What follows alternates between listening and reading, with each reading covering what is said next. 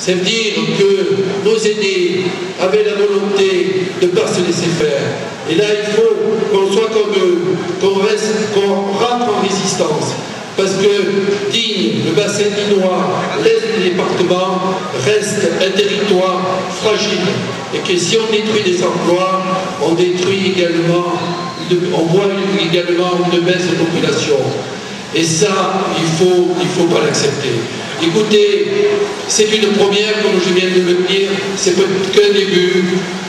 Encore une fois, je vous remercie de votre solidarité. On vous tiendra évidemment au courant de tout ce qu'on peut envisager de faire. Mais sachez que j'ai pris ma canne, ma canne de, de pèlerin, comme on dit, pour aller voir la haute administration. De de vie, tout le temps, à ce qu'on puisse trouver un emploi dans la mesure du possible.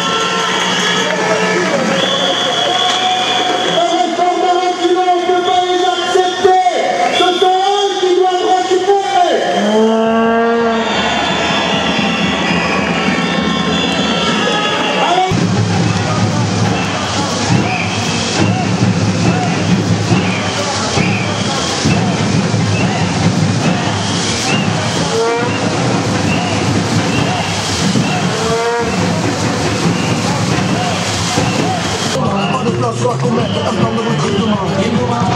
Ce qu'on exige, de vrais engagements. Les moyens Choix d'arbitre, c'est lui l'arbitrairement. Difficile pas le il se prend au Parlement.